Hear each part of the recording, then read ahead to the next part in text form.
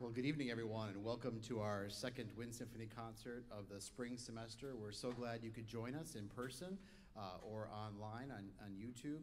Um, we are uh, very thrilled to, to perform tonight some, some, some wonderful music, and I wanted to pre preface a couple things. Uh, the title of the concert is Homage.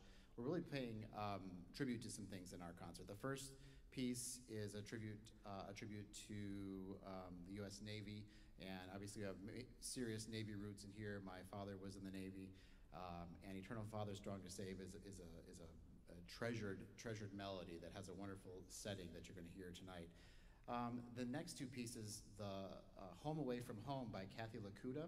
Uh, Kathy is a uh, Ukrainian composer, and we had planned to program Pictures in an Exhibition, which is this monumental Russian piece. And I felt it really important that any performance of, of a Russian piece right now wanted to have with it a discussion about things, especially when the finale to Pictures in an Exhibition is the Great Gate of Kiev or Kyiv.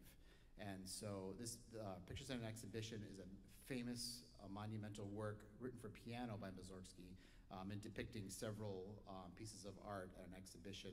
And he walks through and comes to the promenade and then goes to another artwork and so forth. And it takes you through several images that take you kind of all throughout Europe, but with a, a distinctly Russian um, tinge to them. And, um, and so many orchestras and bands right now are playing the finale, The Great Gate of Kiev. And so we wanted to play the entire work and end with something that is, is, is really, really um, um bold and proud and all of that.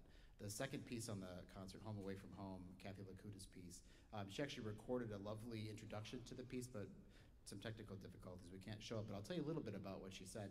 Um, the piece is not meant to be um, mournful or sorrowful or anything like that. It's actually a piece about um, depicting her venture out of Ukraine. She grew up in Ukraine. She went off to college and she moved to the United States and she lived in and she lives in Australia and and so she's had a lot of adventures and she wanted to depict a piece that um, spoke to um, college students fresh out of the home and and, and, and adventuring out. And so there's some Ukrainian um, folk music in there, and there's some um, worryful moments, and then there's some really aggressive things, and it's a really kind of an interesting piece. So um, we're, again, we, we, appreciate you coming to our concert, and I'd like to introduce our first conductor for tonight, uh, Mr. Ed Moncada, uh, Edward Moncada, who is our Assistant Director of Bands and um, a dear friend of mine, and we hope you enjoy um, Eternal Father Strong to Save, uh, the A&M Kingsville Wind Symphony conducted by Edward Moncada.